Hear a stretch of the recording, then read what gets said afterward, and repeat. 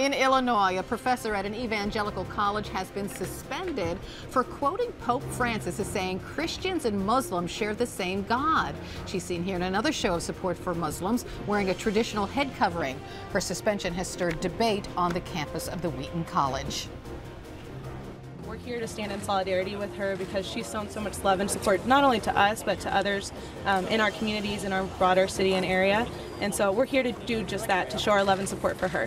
This is not anything against Muslims. This is just simply saying that we do not worship the same God as Muslims. So the fact that she went on Facebook on behalf of the college and represented the student body and the staff and said that this is what we believe, that's wrong. And I think there should be consequences. The school says the professor's statement muddles the differences between the two religions. Officials say the suspension had nothing to do with the um, with her wearing the um, Muslim head covering.